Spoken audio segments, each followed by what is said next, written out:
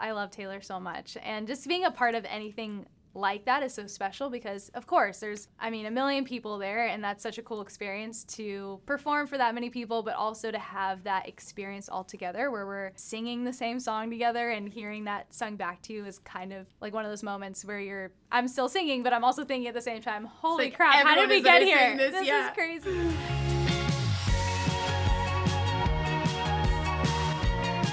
Hey friends, it's your girl Emily Curl, and right now we're here at our iHeartRadio headquarters in New York City, and we're hanging out with Sydney and Graham from Echosmith. Can we give it up for Sydney and Graham in our building? thank you Thank you. so much And first off, can I just say I love the color coordinated outfits. Thank They you so much. I am very grateful I bought this dress today. Oh. And I was like, I'm meeting him in the lobby and I hope that it matches. And it did. And it did. Here we go. I was like basing off of a photo and I was like, we're just going to have some fun today and roll the dice. Well, we're gonna have a lot of fun today because we have a lot to celebrate. You have been releasing music for over 10 years, and now today your self-titled album Echosmith is out. I can only imagine what is going through your minds right now, but how does it feel having this project out into the world? It feels so special because we've been working on this album for like two plus years. Um, so to finally see it like come to fruition and Yeah. be able to share it with everyone else is so cool because when you write the song, it's like a high and you're like, oh my gosh, like that felt so great. And then you make the music and that's another high. And then you send it to your best friend and see what they think, and that's another moment. But then when you get to actually share with everyone, and it gets to leave, like it's not just on my phone anymore. It's the It's in the coolest thing. So it's the best. And the fact that it's a self-titled album, why did you want to do that now? Why was it important to have an Echosmith album right now?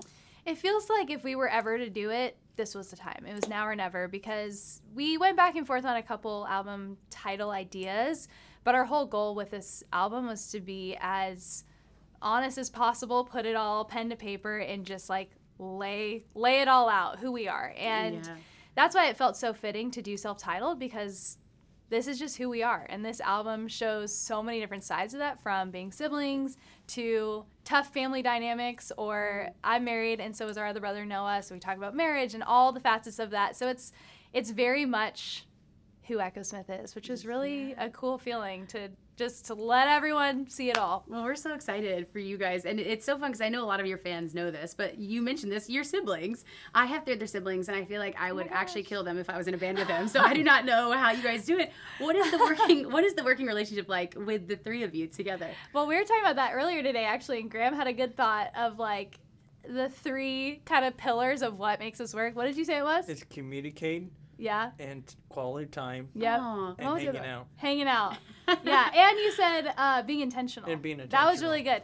So I That is feel like, yeah, we've been best friends since we were kids, but there have been times where it's like it takes us being extra intentional right now because everyone's really tired or we live in all separate places and stuff like that. So it's cool where those things come into play where it's like, wait, we've been working so much. We need some of that like fun quality time of just being family. So like incorporating those different things has been really key to actually like surviving and thriving as a family. So growing up, was music was music always playing? Were you guys always singing, playing instruments, writing songs? Like, what was that dynamic like?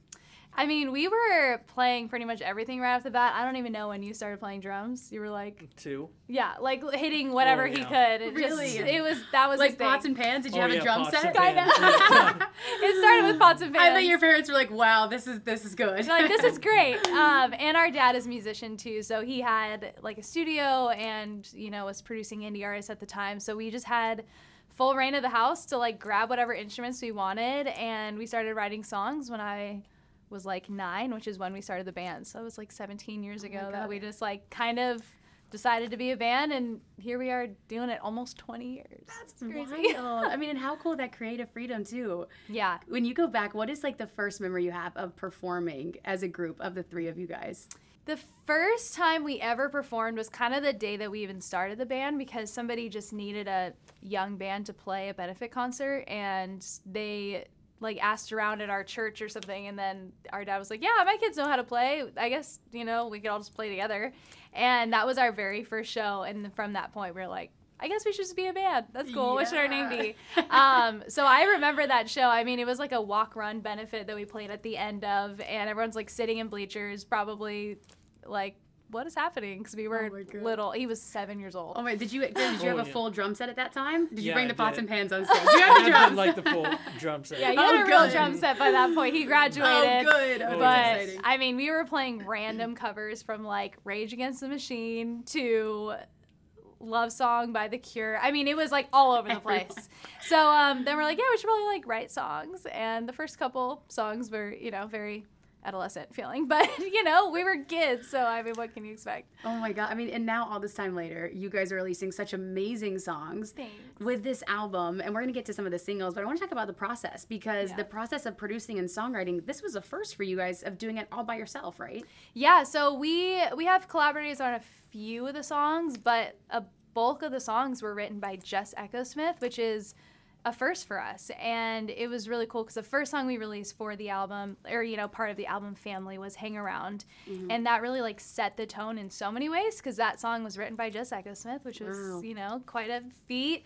Um, and also, yeah, Noah, our other brother, who's unfortunately not feeling well today, but um, him and our other brother Jamie co-produced pretty much everything together, which is so fun. So we have like the whole fam in the studio. Wow. Wait, so was there four of you guys total? Yeah. Oh, I thought there was only three. Oh, Yeah, so four. he Okay. had he had a kid about se- Jago's seven years Yeah, old. So yeah, once his wife got pregnant, he you know decided to do producing and writing and artist stuff on Wow, his but own. I love so- that he's still a part of it. That's so yeah, it was a really cool like coming back together moment because we've always stayed close, but it was really cool to bring it all back in the studio together and just like have laugh attacks and then try to get stuff done and get distracted making dinner and you know my nephew's walking in. I mean, there's a lot of fun dynamics that I even have on video where I was just like recording a video of me writing a piano line for something and then my nephew's like, "Can I have a chip?" you know, cuz I always bring snacks.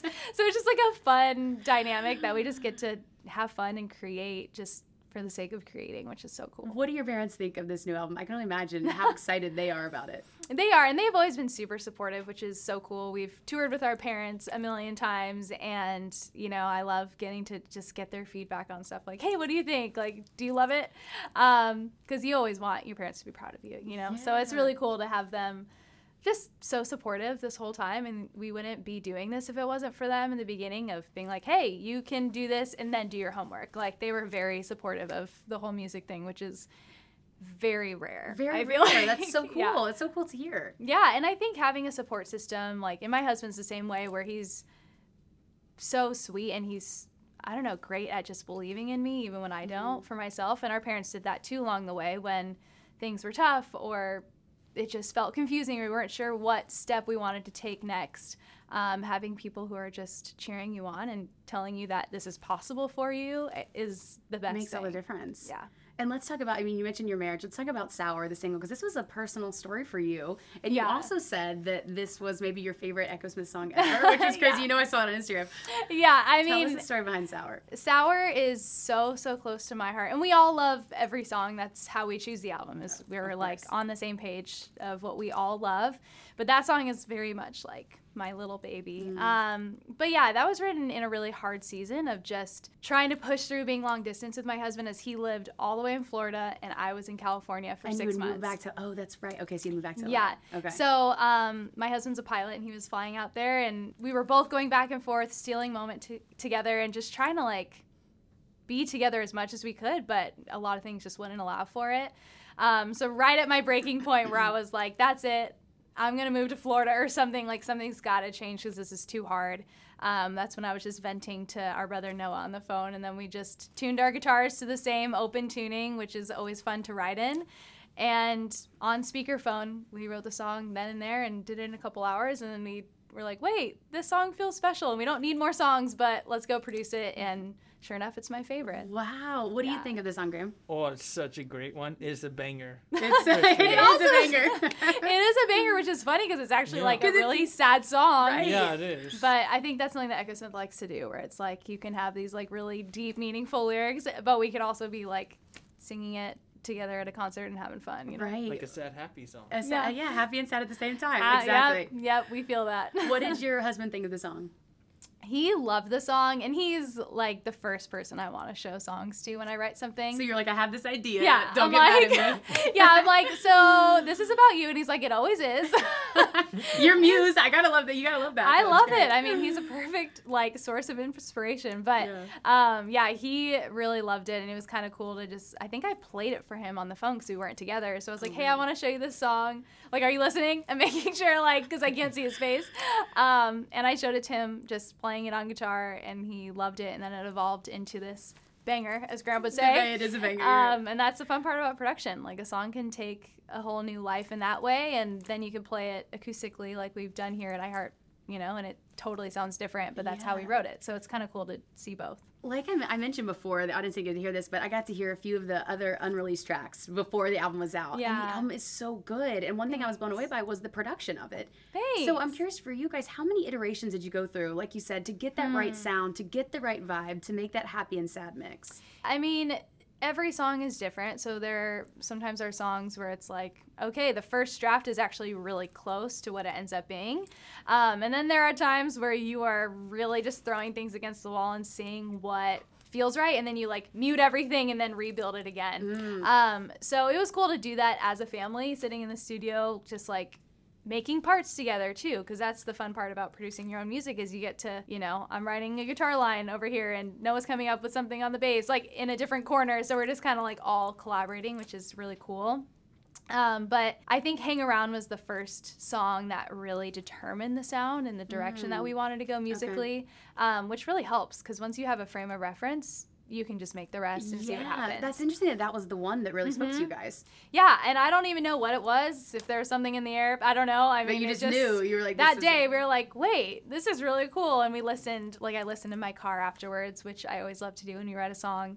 Because then you can really tell if it's like good instead of other people with you, like by yourself in the car. Then you know. hear it. Yeah. And I was like, wait, this is actually really fun. So then we kind of just went from there and wrote the rest of the album over the course of a couple months. Okay, let's popcorn. What is your favorite song, Graham, on the album? Oh, Perfect light.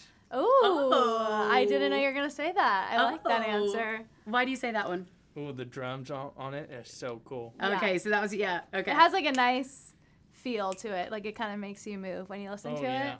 That's a good choice. that is yeah. Um, that's actually one of my favorites too. And my husband actually helped us write that Oh one, really? so oh, so he's a collaborative, uh, like a collaborated yeah, on this too. yeah. I'm like, you're my inspiration. I mean, he he's the best. Him a check. I love it. I know. Um, can I tell you my other favorite? This is just like my first Yes. listen. Oh is I love Prima Donna. Oh my gosh, thanks. I really love Prima Donna. That was I love the lyrics. I love the production of it. I thought that was like such a cool moment. Thanks. I feel like that one totally like has its own place on the album, which is really cool because it's not super busy. It's actually a pretty simple song, um, but it just has such a fun like.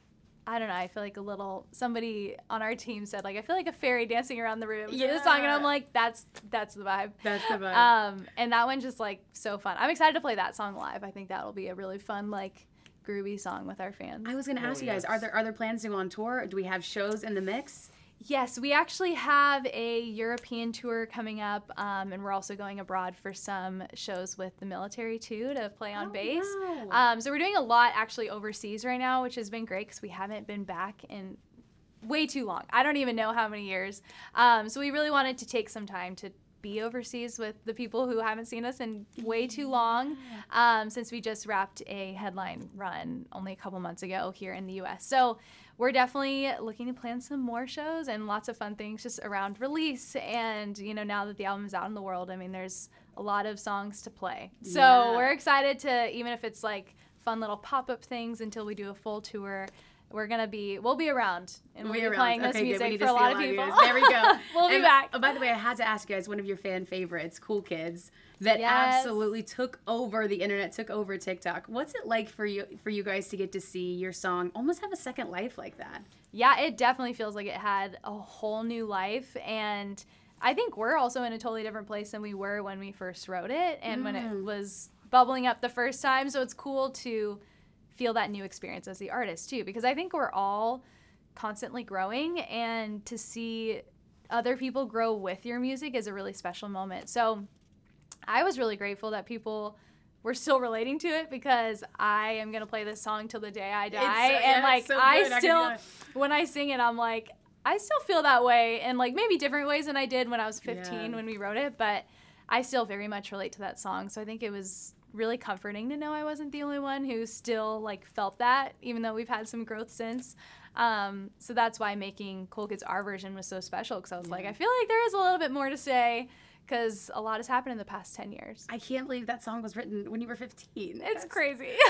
It also made me I think either, too, honestly. as I'm a huge Swiftie. I just saw Taylor Swift, and I was thinking Yes, about you love her. performing Cool Kids on the 1989 tour. Yeah. Which what was that experience like for you? I mean, that was so cool. I love Taylor so much. And just being a part of anything like that is so special because, of course, there's, I mean, a million people there, and that's such a cool experience to perform for that many people, but also to have that experience all together where we're singing the same song together and hearing that sung back to you is kind of like one of those moments where you're I'm still singing but I'm also thinking at the same time holy like crap how did we get here? this, yeah. is crazy. Um and she's just like the sweetest human being so it just was like a combo effect um and really sweet and we did it again I don't even know somewhere in Ohio at some Oh, point that's too so it's just fun she's like hey are you cool with like pyro I'm like sure I don't know what that means but okay Absolutely. I was like, oh yeah, up. there is fire, which is so fun. So love- yeah, it's such an honor and just Oh, that's so, so, fun. Cool. Yeah. And then Graham, for you, what's it like playing a show? Like, what's your favorite part of being on stage? Ooh,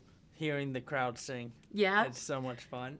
Yeah. Of all of the Echosmith songs, what's your favorite to play live?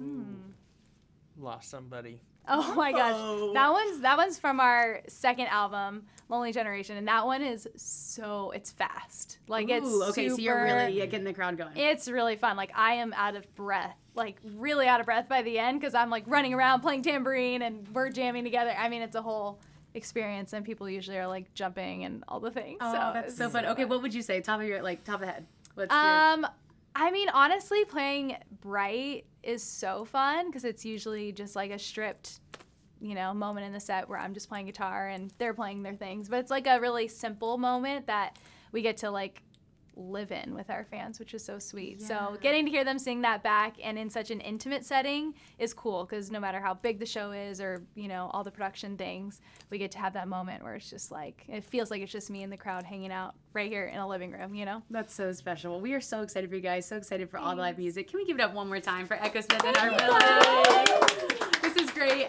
Their new album, Echosmith, is out now, so make sure you listen to it on iHeartRadio, and we will see you guys next time. Thanks so much for watching. Did you like that video? You can check out more over here, and don't forget to subscribe to iHeart right here. And if you're already a longtime fan, make sure you ring the bell down below so you don't miss a single video. See you next time.